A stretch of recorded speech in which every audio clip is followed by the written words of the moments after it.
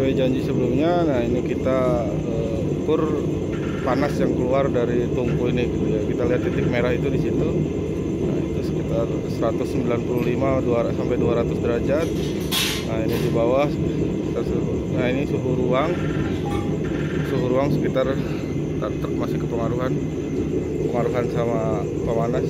28 ya 28 suhu sekitar sini. Cuman di sekitar sini ini luar ruangan e, di sekitar tungku pemanas suhunya naik jadi 33 gitu. Ini di ruang terbuka.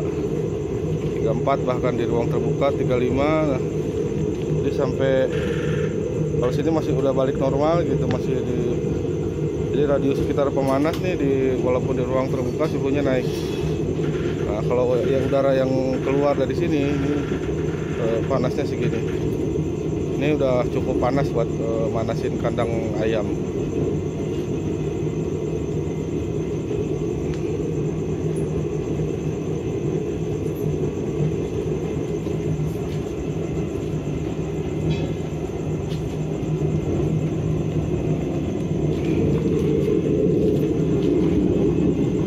bagian bodi sini samping ini sekitar 100 derajat.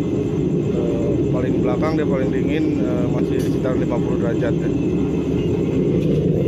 panas.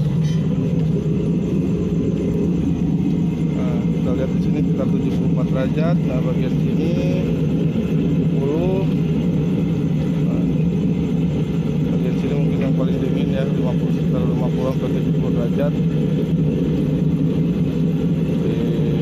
inlet ini pipa tempat masuk oli dia 33 derajat.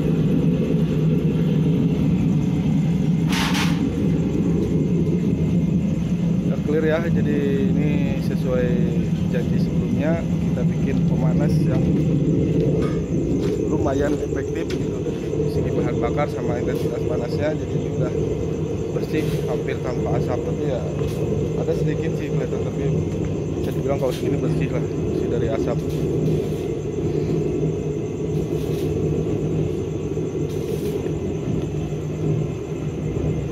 Nah, ini suaranya ini kedengeran radiusnya sampai 20 meter ini jadi kayak suara pesawat